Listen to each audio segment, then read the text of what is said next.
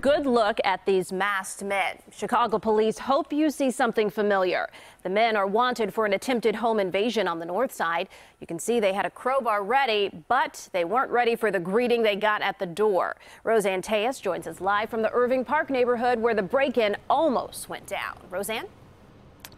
That's right, Erica. It was certainly not what this resident's friend expected to find at the back door early yesterday morning.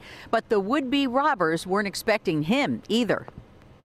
A security camera was rolling just after 9 a.m. Monday as three masked men entered this backyard on the 3300 block of Warner Street. They climbed the stairs and tried to force their way into the home. It was three people. Two had guns, one had a crowbar.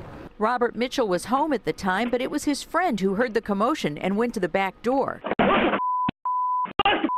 What?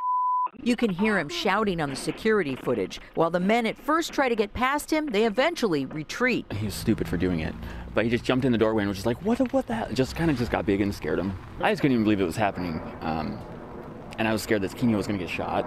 But his friend was not hurt. The back door was only slightly banged up, and nothing was taken. Still, Mitchell says the damage is done. Yeah, it spooked us enough. We're going to leave. But they're hopeful images captured by this security camera and now posted on social media help lead police to the men responsible.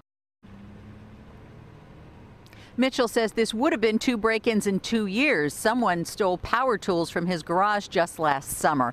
Now, police tell us Area North detectives are investigating. In Irving Park, Roseanne Tellez, CBS 2 News. Erica? Okay, Roseanne, thank you.